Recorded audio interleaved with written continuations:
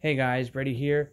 And um so they just announced the director of the next Now You See Me movie, uh, which is interesting. I didn't know they'd, they'd make a third movie, but glad they're trying to make it into a trilogy now.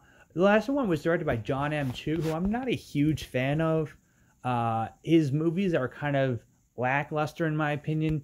I did not care for G.I. Joe Retaliation. And then right after that movie, he did the um, he he did Jem and the Holograms, and that was terrible. And he did Now You See Me Too right after Jem and the Holograms, and Now You See Me Too was was good, but I think the first one is a little bit better. Uh, I don't know. I gotta watch those two movies again. I've only seen them once each. Um, but I don't know.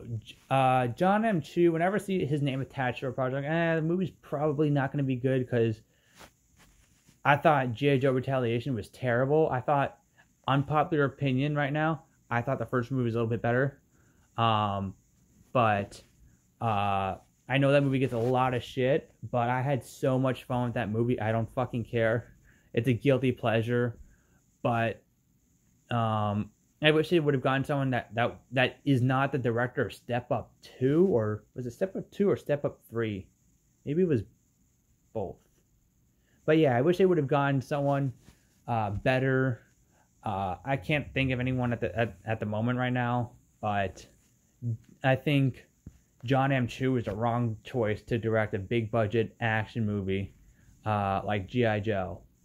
Um, and then they got Robert Schwentke for uh, uh, Snake Eyes, who directed the last two Insurgent movies and um, and R.I.P.D., which I heard is getting a straight to DVD sequel, like ten years later.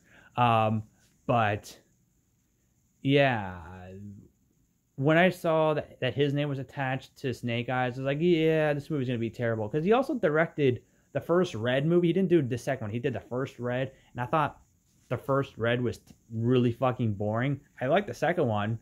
The second one was a step up in my opinion, but Red two or Red one, I I didn't enjoy that much. So he he he he's for me he's done like a lot of misfires. Um, Robert Schwentke and Snake Eyes just added to that, and then same with Jon M Chu. Uh, I haven't seen In the Heights, although I really want to. I just bought that the other day. Can't wait to see it. Um, but I'm not going to see Crazy Rich Asians because it just does not interest me whatsoever. But anyway, let's get back on point. Now You See Me 3 is being directed by Ruben Fleischer, who is uh, known for Zombieland, Zombieland 2, Venom, Uncharted, um, and then Gangster Squad in 30 minutes or less. Uh, his movies are, are fun, in my opinion. I love how fun his movies are. Uh, they may not be like the best thing to come out of cinema, but I do enjoy myself when I watch his movies. I thought Venom was tons of fun. I thought Uncharted was really fun.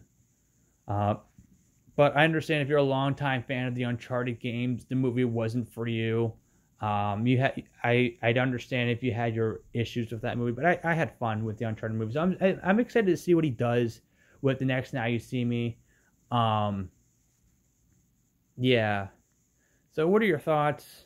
Sorry if I've been if I rambled a lot in this video, um, but what are your thoughts on the directing choice for the next Now You See Me? Do you think do you like Ruben Fleischer? Do you not like Ruben Fleischer? Do you think they could have gotten someone better than him? Uh, just let me know in the comments below, and I'll see you guys next time.